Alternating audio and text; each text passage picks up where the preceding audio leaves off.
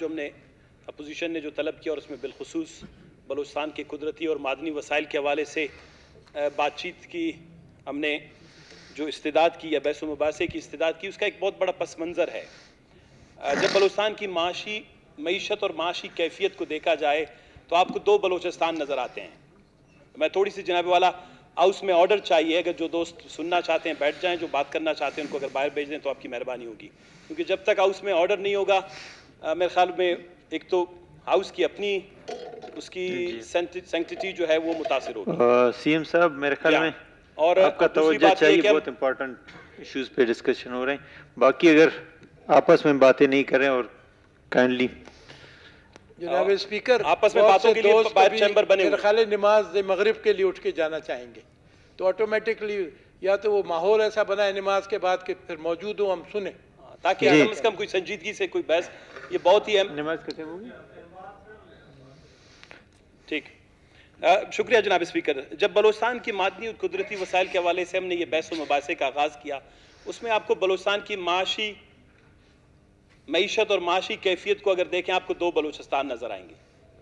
ایک وہ بلوچستان ہے جو بھوک پیاس افلاس تعلیم سے محروم جہالت پسماندگی حادثات میں جلتے ہوئے انسان، کوئلہ کے کانوں میں مرتے ہوئے انسان، دستے ہوئے انسان، اور وہاں پر لکمہ اجل ہوتے ہوئے مزدور آپ کو نظر آئیں گے۔ اور ایک وہ بلوچستان ہے۔ اور ایک وہ بلوچستان ہے۔ جب آپ باہر کی دنیا میں جاتے ہیں، اپنا تعارف کرواتے ہیں کہ جی میرا تعلق بلوچستان سے، پاکستان کے سب سے بڑے صوبے سے۔ تو لوگوں کی آنکھوں میں ایک چمک سی آتی ہے۔ وہ سونے کی چمک چاندی کی چمک، تانبے کی چمک، گیس کی چمک، کرومائٹ کی چمک، گرینائٹ کی چمک، اور بلوچستان کے اربوں ڈالر پر مشتمل بلوچستان کے وسیع اور جغرافی اور اس کی قدرتی اور معدنی دولت کی جو ہے وہ چمک ہے، وہ نظر آتی ہے۔ بلوچستان کی دو کیفیتیں ہیں۔ ایک کیفیت ہے، جناب اسپیکر، میرے خیال آپ کی بات کوئی سنتا نہیں ہے۔ چیمبر ہیں، اگر وہ صاحبان باہر چاہ کے چیمبر میں بات کر لیں تو زیادہ جی تقریباً اسی طرح۔ تو یہ جو دو کیفیت ہیں بلوچستان میں، اس کے، اس کا ایک تاریخی پس منظر ہے۔ دنیا میں اس وقت جناب والا میرے پاس ایک تفصیل ہے، دنیا میں بہت چھوٹے چھوٹے ممالک ہیں، جہاں پر آلو پیاز بھی نہیں ہوتا۔ گو کہ ملک صاحب کی مہربانی، انہوں نے بلوچستان کے انگور، سیب، سارے قدرتی وسائل میں ہی شامل کر لیے بلوچستان کے، جہاں پہ سات مہینے قدرت کی طرف سے سرسبزہ بھی نہیں اگتا۔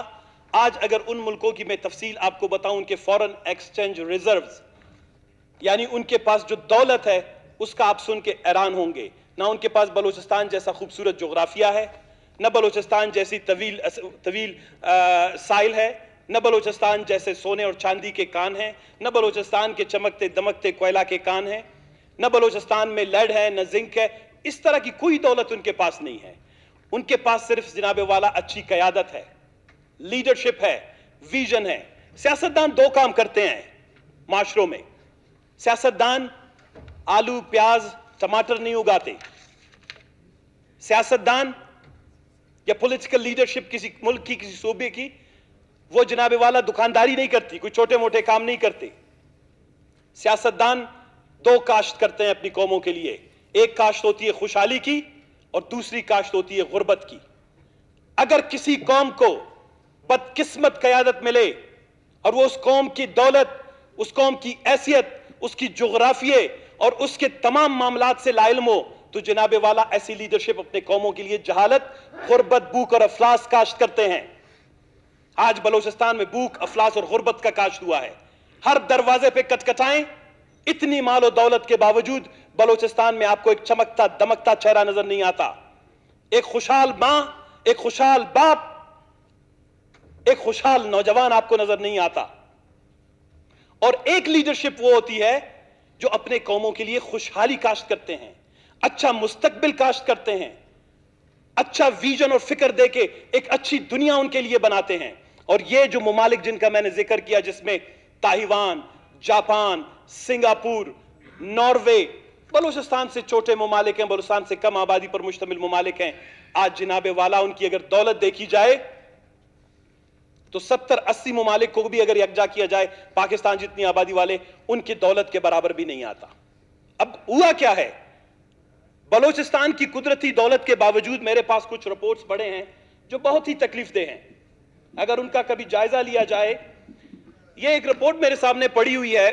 یہ ہے انسٹیٹیوٹ فار پالیسی ریفارمز کا growth of the provincial economies Balochistan کی جو پروونشل اکانومی ہے، جام صاحب بیٹھے ہوئے ہمارے بھائی ہیں، انہوں نے کل پرسوں ایک انٹرویو میں کہا تھا کہ بلوچستان پچیس سال سے یا پندرہ سال سے جو ہے، وہ غلط قیادت کی وجہ سے جو اس نیچ پہ پہنچا ہے۔ اس میں کوئی شک نہیں کہ بلوچستان کو تاریخ میں ماں سوائے دو قائدین کے، جس میں صدارت اللہ مینگل اور نواب اکبر خان بکٹی کے، کوئی ویژنری لیڈرشپ ملا نہیں ہے۔ اگر بلوچستان کو جرت مند غیرت مند فکر مند قیادت ملتی آج بلوچستان اس نیچ پہ نہیں ہوتا۔ اکیسویں صدی میں جناب والا میں آپ کو کیا گناؤں کہ جس صوبے میں four point five billion ton, چار اشاریہ پانچ ارب ٹن سونے، چاندی اور تانبی کا صرف ایک روکے، ریکو دیکھو، وہاں پر جناب والا اس صوبے میں ابھی بھی مائیں، بہنیں اور بچے راشن کے لیے لائنوں میں کڑے نظر آتے ہیں آپ کو۔ ایک ایسے صوبے میں جہاں جناب والا چار سو بارہ ملین ٹن سونا اور چاندی گزشتہ بارہ سال میں سندک سے نکالا گیا ہو، وہاں پر لوگ ابھی بھی پی جی ایم اے کے چھ سات ٹرکوں کا انتظار کر رہے ہیں کہ کب ان کو دو چنے دو کلو چنے اور دو کلو چاول کے ان کے گھر پر پہنچائے۔ ایک ایسا صوبہ جناب والا جہاں پر دو سو باسٹھ ملین ٹن کوئلہ ہو اور گزشتہ پچاس سال سے نکل رہا ہو، وہاں پر جناب والا ہر تیسرے دن ہر تیسرے دن سیفٹی میجرز نہ ہونے کی وجہ سے غریب مزدور جو ہیں، وہ کالے کانوں میں جو ہیں دس کر علاق ہو جاتے ہیں۔ ایک ایسا صوبہ جہاں پر جناب والا دو سو ترہتر ملین ٹن آئرن موجود ہو، وہاں پر جناب والا پچیس لاکھ بچے جو ہیں تعلیم سے محروم ہیں۔ یہ اسی لیے اس میں کوئی شک نہیں کہ بلوچستان کو ایک دور اندیش، سنجیدہ، قابل فہم قیادت تبھی صحیح بھی نہیں ہوا۔ جو کبھی یہ سمجھتا ہو کہ خداون تبارک تعالیٰ نے بلوچستان کو لینڈ لاک صوبہ نہیں بنایا ہے، ہمارے پاس سائل ہے۔ بلوچستان کو سونا ہے، بلوچستان کے پاس چاندی ہے، بلوچستان کے پاس تانبا ہے۔ اب اگر ویژن کی کمی ہے، اور میں آپ کو بتاؤں بلوچستان کے لوگ اس میں کو مورد الزام نہیں ٹھہرایا جا سکتا۔ ایک کتاب ہے، کبھی موقع ملے ضرور پڑھنا۔ وائی نیشنز فیل کیوں قومیں ناکام ہوتی ہیں؟ کیوں قومیں غربت کا شکار ہوتی ہیں؟ اس میں یہ جو کافی ایک وہ جو ہمارے ہاں اسلام آباد والے بھی کبھی کبھی وہ کیا کہتے ہیں کہ ایک بیانیہ ہے کہ جی سردار، نواب، موسم، جغرافیہ، قبائلی رواج، رسم و رواج کی وجہ سے قومیں پسماندہ ہوتی ہیں۔ انہوں نے ان تمام چیزوں کو مسترد کر دیا ہے۔ بڑی تفصیل کے ساتھ انہوں نے اس تمام پہلوؤں کو بحث کیا ہے کہ گزشتہ سو، ڈیڑھ سو سالوں میں کچھ قومیں چاند پہ پہنچ گئیں اور کچھ قوموں کو پاس ابھی تک زمین پر رینگنے کے لیے آلات بھی میسر نہیں ہیں۔ تو اس نے ان تمام چیزوں کو رد کیا اور انہوں نے کہا کہ جناب والا، دو چیزیں اہمیت کے عامل ہیں انسٹیٹیوشنز انسٹیٹیوشنز اینڈ انسٹیٹیوشنز یعنی ادارے ادارے اور اچھے ادارے۔ بلوچستان میں آج بیاسی فیصد کثیر الجیتی غربت کی وجہ، بلوچستان میں پچیس لاکھ بچوں کی بے تعلیمی کی وجہ، بلوچستان میں اٹھارہ لاکھ بے روزگار نوجوانوں کی وجہ، باسٹھ فیصد لوگوں کو پانی نہ ملنے کی وجہ، جناب والا، یہی ہے۔ کہ بلوچستان کو یہ پانچ کلو کلومیٹر ریڈیس، جناب اسپیکر صاحب، پانچ کلومیٹر ریڈیس یعنی یہ مربع کلومیٹر، پانچ کلومیٹر مربع کلومیٹر پر جو بھی لیڈرشپ بیٹھی ہے، سیاسی اشرافیہ کی شکل میں، ہماری شکل میں، ہم سے پہلے والوں کی صورت میں، یہاں کی انتظامی اشرافیہ کی شکل میں بروکرسی کی شکل میں، اور یہاں کی عسکری اشرفیہ کی شکل میں جو پانچ کلومیٹر ریڈیس میں بیٹھے ہوئے لوگ ہیں، آج بلوچستان کی غربت کی وجہ وہی ہیں۔ ان کی غلط سوچ، غلط پالیسیاں، بلوچستان میں الیکشن، انتخابات، حکومت سازی، سارے عمل میں تو مداخلت کرتے ہیں۔ لیکن آپ کو یہ بتاؤں کہ کیوں یہ ڈیبیٹ کیا ہم نے؟ دو ہزار دس میں جب اٹھارویں ترمیم آئی، تو اٹھارویں ترمیم کے پاس طے یہ پایا تھا کہ جناب والا ہر صوبہ قدرتی اور مادنی وسائل کے حوالے سے اپنے لیے ایک پالیسی بنائے گی، اپنے لیے رولز فریم کرے گا۔ ریگولیشنز بنائیں گے۔ ایک اچھی جو ہے انوائرمنٹ بنائے گا ڈیولپمنٹ کے حوالے سے۔ لیکن بڑے افسوس سے کہنا پڑتا ہے، جناب اسپیکر شاید آپ کے علم میں ہو، کہ بلوچستان میں دو ہزار تین کے بعد تک آج تک کوئی منرلز یا نیچرل ریسورسز بیس پالیسی نہیں بنی۔ میں تو منرل نہیں کہتا ہوں۔ میں سمجھتا ہوں کہ اگر پالیسی بننی بھی چاہیے، بلوچستان میں دو ہزار تین کے بعد آج تک کوئی نیچرل ریسورس کی پالیسی نہیں بنی۔ میں الفیہ کہتا ہوں، بلوچستان کو اچھی قیادت ملتی۔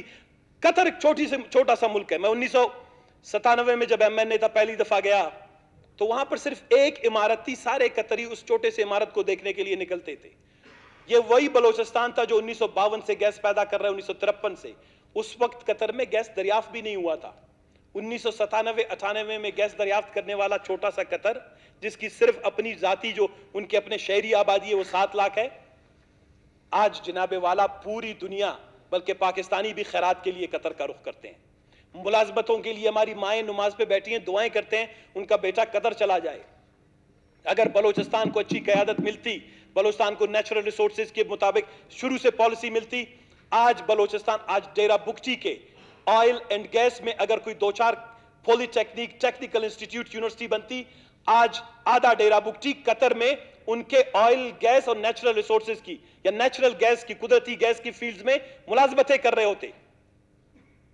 ہم نے کبھی بھی اس بات پہ توجہ نہیں دی کہ خداون تبارک تعالیٰ کسی قوم کو جب یہ ریسورسز دیتا ہے یہ ریسورسز بیس پچیس تیس سال میں پچاس سال میں ختم ہوتے ہیں۔ ایک نیچرل ریسورس پالیسی اب جناب اسپیکر آپ تو پانی پی لیتے ہیں دوسروں کو اجازت نہیں دیتے۔ اسپیکر ہل نہیں سکتے نا باقی اچھا۔ باہر جا سکتے ہیں۔ ہم بھی کہاں ہل سکتے ہیں ہم بھی پس جاتے ہیں۔ نہیں آپ باہر آنا جانا ہو سکتا ہے نا اسپیکر کے لیے مصیبت۔ جناب اسپیکر جناب اسپیکر بلوچستان منرل پالیسی دو ہزار تین میں بنی اور اتنی آؤٹ ڈیٹڈ ہے اور آج اسی غلط منرل پالیسی کی وجہ سے ریکودک آپ سے آپ سے گیا۔ سیندک ساڑھے تین سو ارب روپے پیدا کرنے والے سیندک کے ارد گرد مجھے ایک ایسے خاندان کا نام بتا دیں، قبیلے کا، ایسے قوم کا، ایسے فرد کا نام بتا دیں کہ جس کا بیٹا بیرون ملک پڑھ رہا ہو۔ یا وہاں پر کوئی ایک پہلو پولی ٹیکنیک دکھا دیں، وہاں پہ ایک یونیورسٹی دکھا دیں، ایک کالج دکھا دیں، ایک اچھی سڑک دکھا دیں۔ آج بھی چاغی کے لوگ، آدھا چاغی جو ہے بھوک اور افلاس کا شکار۔ نوشکی اس کا حصہ تھا، خران اس کے اس کے ہمسائے میں ہم رہتے ہیں۔ یہ سارے علاقے ایک سیندک سے جناب والا، قطر، دبئی اور کم از کم کویت جیسی جو ہے زندگی گزار سکتے تھے۔ آپ کا ریکو دیکھ۔ آپ کے پاس منرل پالیسی نہیں تھی، آپ کے پاس اچھی لیڈرشپ نہیں تھی۔ آج کل کے اخبارات میں ابھی جان جمالی صاحب بھی مجھے دکھا رہے تھے، میں نے کل پرسوں ٹویٹ بھی کیا تھا کہ حکومت بلوچستان کو گیارہ ارب ڈالر جو ہیں وہ جرمانہ دینا پڑے گا۔ مجھے یاد ہے، میں نے اس پہ ایک دو آرٹیکل بھی اس وقت لکھے تھے۔ اگر آپ انگریزی پڑھتے ہیں تو ضرور پڑھ لیجیے گا۔ میرا ایک آرٹیکل تھا بلوچستان الدوراڈو۔ الدوراڈو پوچھ رہے ہوں گے، کیا الدوراڈو ایک شہر ہوا کرتا تھا سولہویں، ستارویں صدی میں اسپینش جب اس وقت یہ انہوں نے اپنی کشتیاں بنا لی دنیا کو فتح کرنے کے لیے نکلتے تھے تو ان کی خواہش تھی کہ دنیا میں جہاں سونا، چاندہ، چاندی، تانبا وغیرہ ہے، جا کے اس کو لوٹ کے آتے ہیں۔ یہ سارے طاقتور قوموں کی کا نیچر ہی یہی ہوتا ہے کہ دوسروں کے وسائل پہ قبضہ کرنے کا۔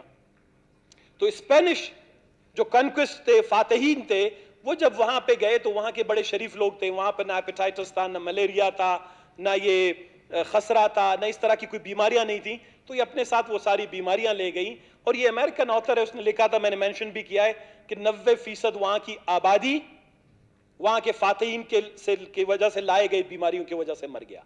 تو وہ الڈراڈو جس کو کہتے ہیں دا سٹی آف گولڈ یعنی سونے کا گمشدہ شہر، انہوں نے سب کو مارا، پیٹا کہ ہمیں بتاؤ یہ شہر سونے کا کہاں پہ ہے۔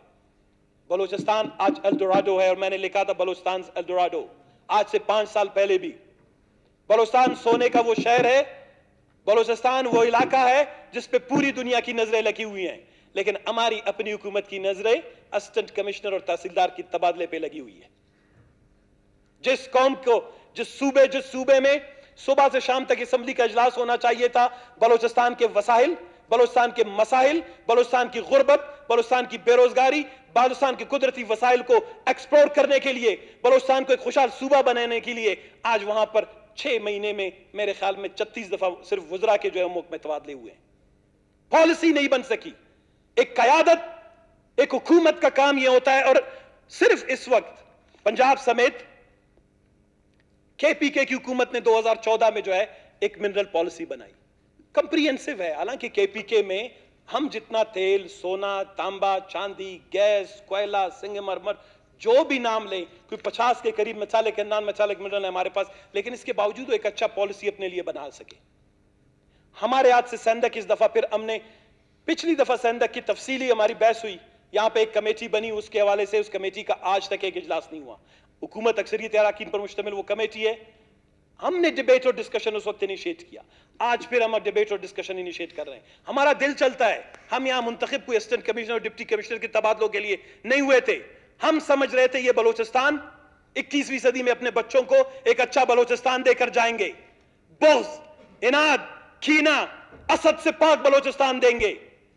بلوچستان سے بے روزگاری کا خاتمہ کریں گے۔ بلوچستان کے سونے اور تانبے اور چاندی کو دنیا میں انٹرنیشنل اسٹینڈرز کے مطابق اچھے پالیسی کے تحت ان کو دنیا کے سامنے لائیں گے۔